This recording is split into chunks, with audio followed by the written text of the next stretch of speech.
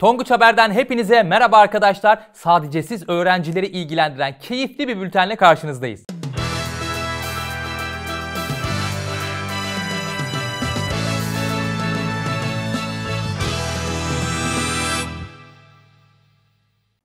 Gözümüz aydın arkadaşlar yazılı dönemi başladı. Bu hafta ve 1 Kasım haftası itibariyle siz öğrencileri zorlu yazılılar bekliyor.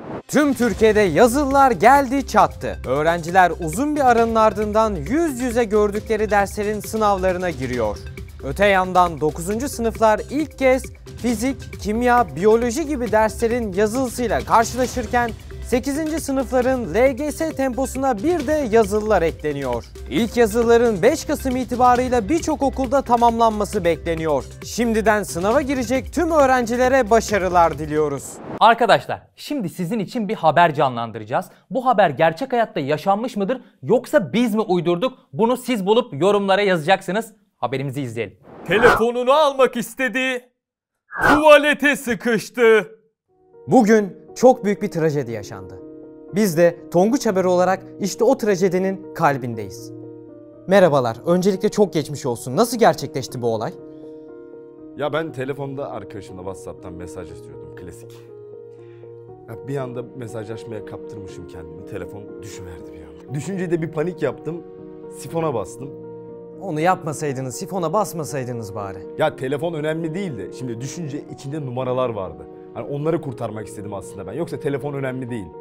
İyi niyetinize kurban gittiniz yani. O, bir saniye, bir saniye, bir saniye.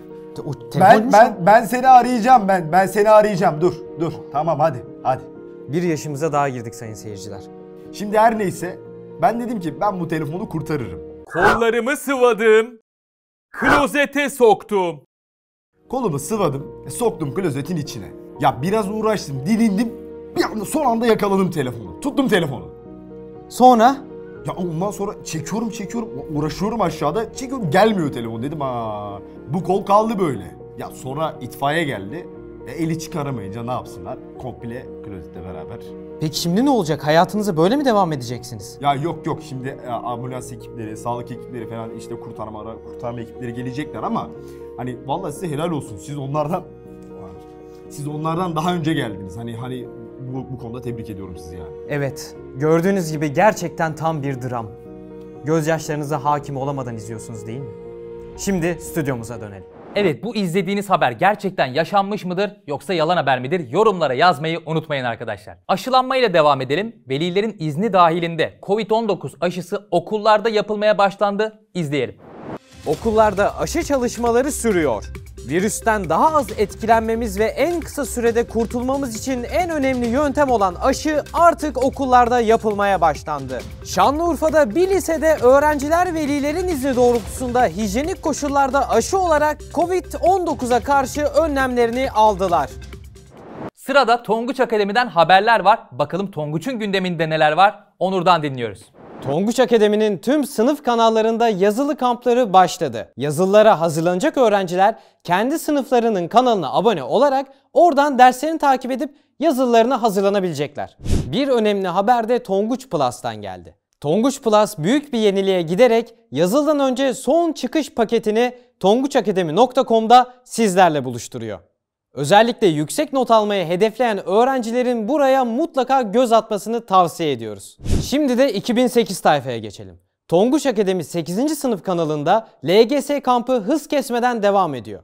Eğer LGS'ye hazırlanıyorsanız hem konu anlatım videoları hem de rehberlik videolarından faydalanabileceksiniz. Son olarak Tonguç Akademi artık TikTok'ta.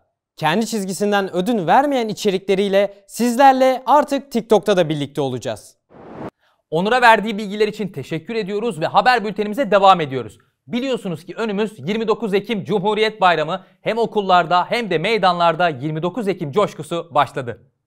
Tüm Türkiye'de 29 Ekim Cumhuriyet Bayramı heyecanı yaşanıyor. Birçok ilde provalar yapıldı, hazırlıklar tamamlandı. İstanbul Kadıköy'de Cumhuriyet Bayramı kutlamaları kapsamında meşale yakma töreni gerçekleştirildi.